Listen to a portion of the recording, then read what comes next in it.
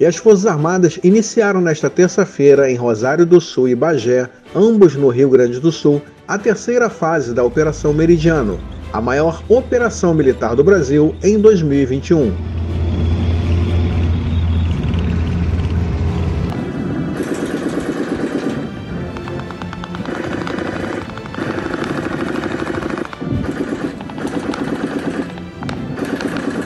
O exercício conjunto, sob a coordenação do Ministério da Defesa, envolverá a participação de aproximadamente 5 mil militares, mil viaturas, aviões e helicópteros da Marinha do Brasil, do Exército Brasileiro e da Força Aérea Brasileira. Xingu, Xangua! Xingu! Lançamento de pontes autorizado!